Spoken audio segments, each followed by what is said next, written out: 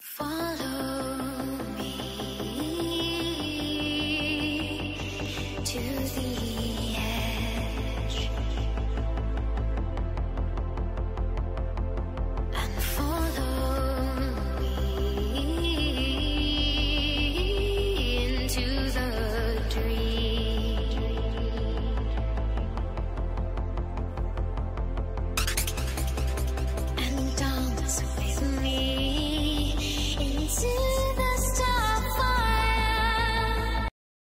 Do you believe in God? No. So you're an atheist? Yes. Why? I don't think there's enough proof to say that there is a God. If I gave you proof, would you change your mind? Yeah, it would have to be pretty good proof.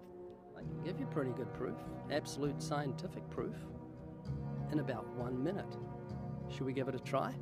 Sure. Every building is proof of a builder.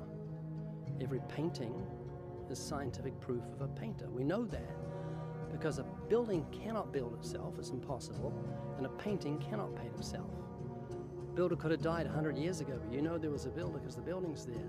A Painter could have died 300 years ago, but you know there was a painter because paintings don't paint themselves. Creation is evidence of a creator.